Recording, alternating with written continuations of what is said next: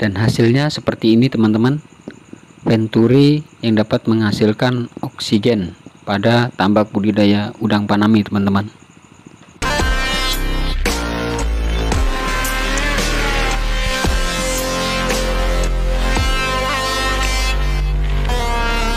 Saudaraku apa kabar?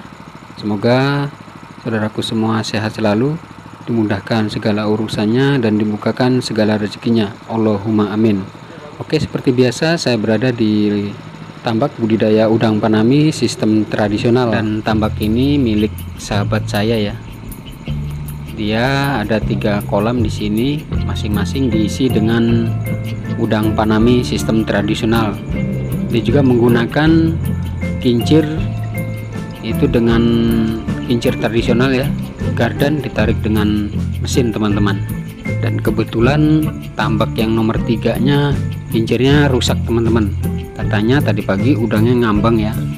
Lalu dia berpikiran untuk membuat suatu gelembung yang dapat menciptakan suatu komponen yang dapat menciptakan oksigen ya teman-teman ya.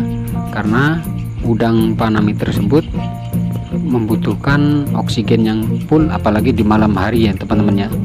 Karena dengan adanya oksigen yang penuh ini udang akan nyaman hidup di dalam kolam teman-teman. Dan Alhamdulillah sahabat saya sudah berhasil menciptakan komponen untuk menghasilkan oksigennya teman-teman ya. Alatnya sangat sederhana teman-teman. Alatnya yang sering dipakai ditambak teman-teman. Nah ini spiral untuk menyedot airnya. Ukurannya 4 in. Kemudian mesin ukurannya 7,0 teman-teman ya. Ini adalah mesin sifon untuk menarik lumpur mesin alkon juga bisa ya teman-teman ya. Dan ada pun sistem kerjanya spiral yang pertama tadi ya. Itu menarik air atau menyedot kemudian dikeluarkan ke pembuangan yang kedua teman-teman. Seperti ini ya. Memakai spiral juga. Untuk pembuangannya ukurannya 3 in teman-teman. Dan ada pun untuk menghasilkan dorongan ataupun gelembung yang kencang itu di ujung spiral pembuangannya tadi disambung dengan palaron ukurannya 2 in ya teman-teman ya. Dengan bentuk palaronnya itu T yang sudah dibentuk sedemikian rupa ya teman-teman ya. Nah ini. Biasanya kalau di kolam budidaya ikan itu menggunakan jet pump ataupun aerator teman-teman. Tapi kali ini menggunakan mesin ya.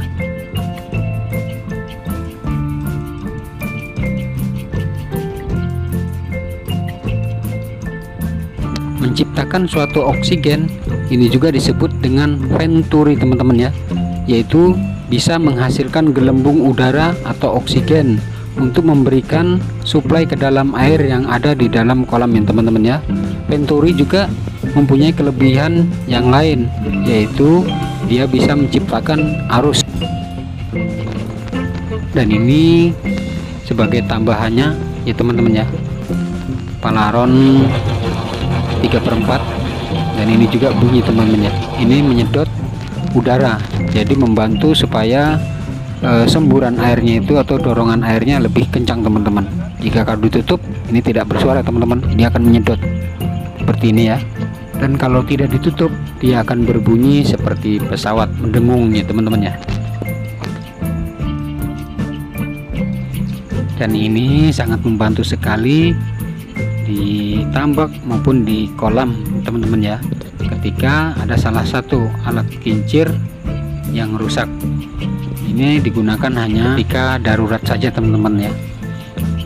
Ketika kincirnya rusak bisa menggunakan pinturi ini dengan mesin alkon ini sangat luar biasa sekali sahabat saya. Bisa menciptakan suatu gelembung yang mampu mengeluarkan oksigen yang banyak teman-teman ya dan ini sangat penting sekali khususnya di budidaya udang panami maupun di budidaya ikan teman-teman ya